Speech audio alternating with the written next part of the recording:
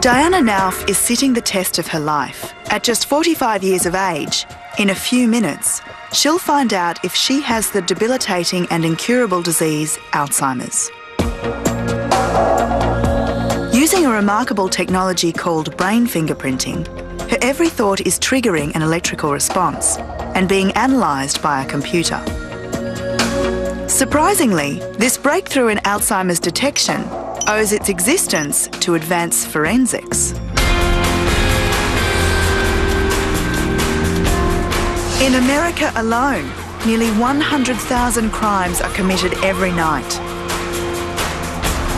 A whole industry of forensics, police, lawyers, judges and jurors go to great lengths to establish truth when investigating crime. But the law sometimes gets the wrong man. For every innocent suspect wrongly found guilty, there's a guilty suspect erroneously found innocent. It seems truth can be a highly subjective issue. The problem for a suspect is that when there's compelling evidence against them, simply stating that they're telling the truth is subject to the judge and jury believing them. That was until brain fingerprinting. Dr. Larry Farwell believes he may have discovered an infallible method to obtain the truth. It's well known that the brain can be monitored for electrical activity whenever a part of it is used. It lights up in a millisecond when we remember an event, something Farwell calls the aha moment.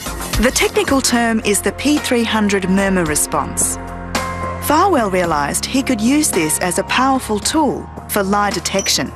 Brain fingerprinting reads this brain activity. Participants are shown specific details on screen about a crime and respond if they recognise the details. If the accused has no knowledge of the crime, the brain will not trigger a P300 MERMER. There will be no electrical activity. If guilty, the brain will light up like a Christmas tree, even if the accused has lied. So now it's my turn for a little brain fingerprinting and the apparatus is surprisingly simple. This headband will pick up the electrical signals from the brain. How many sensors has it got on it?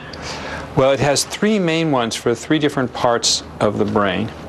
And then there are two references here to get a neutral point, and there's a ground, and then this one picks up the eye movement. The crime I'm to be tested on was real, a vicious murder. Importantly for the test, I'm given some key details, but not all. Well, I'm in the hot seat. All strapped in, connected up. I'm about to be grilled over whether I was involved in a crime. The innocent have nothing to fear, right? Is it hot in here? So, Anna, the crime that we're testing you on here is a murder, a double murder, that took place in 1991 in Edmond, Oklahoma. Now, I know the crime was committed in Oklahoma, so when prompted about that, I click yes. At the same time, my brain has an aha moment, and the sensors pick up the electrical activity of my memory. Because I know nothing about this crime other than what I was told, I click Don't Recognise when other facts are shown to me, and the sensors back me up by not showing a spike. If I were guilty but trying to lie, I'd click no response each time, but my brain would be lighting up with memories. My clicks would conflict with what the sensors are picking up in my brain, and that signals a lie. Well, that was anything but pleasant. It's actually quite chilling knowing that any of those words up there could be related to the murder scene. And when they came up again, I thought I might have got the answer wrong the first time. I don't think I've ever been to Oklahoma. Let's check my results. So what's the verdict? Well, we presented three types of stimuli. The details about the crime we told you are represented by this line. You have a very clear P300 MERMER in response to that. You can see it clearly here on the screen. You recognize those details. The details about the crime that we didn't tell you, you don't get this P300 MERMER response to those. So clearly, you weren't there. Good. That's what I thought. Brain fingerprinting has nothing to do with your emotions. Unlike a polygraph, it cannot be cheated and has been ruled admissible in US courts. Farwell's biggest success to date was in early development of the technique. He was invited to brain fingerprint inveterate liar and suspected murderer James B. Grinder. Seen here taking the test.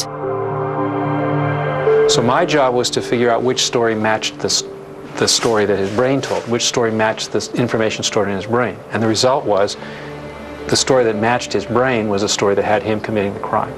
He turned out to be a serial killer and was uh, put away for life in the state of Missouri.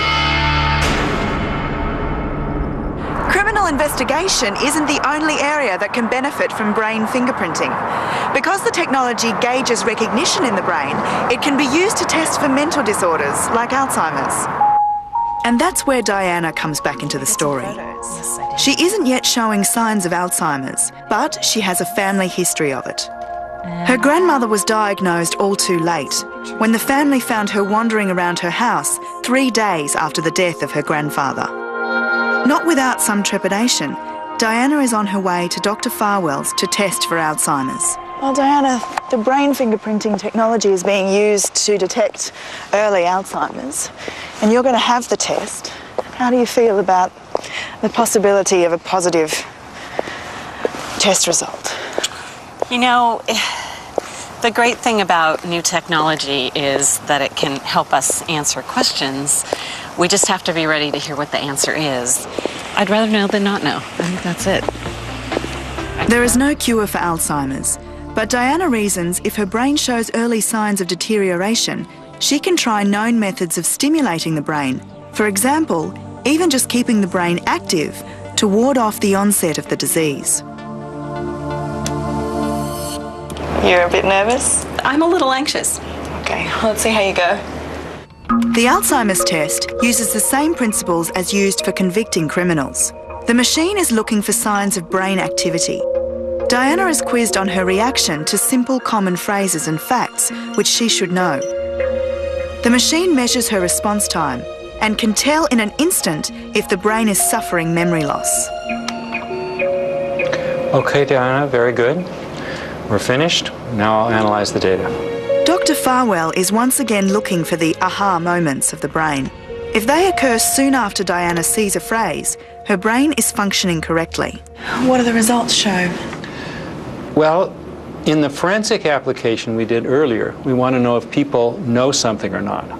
So when you flash something that's significant to a person, their brain gets an aha response. When we're testing for Alzheimer's or early stage of Alzheimer's, we show people things that they ought to recognize and we see whether the brain says aha or not at that time.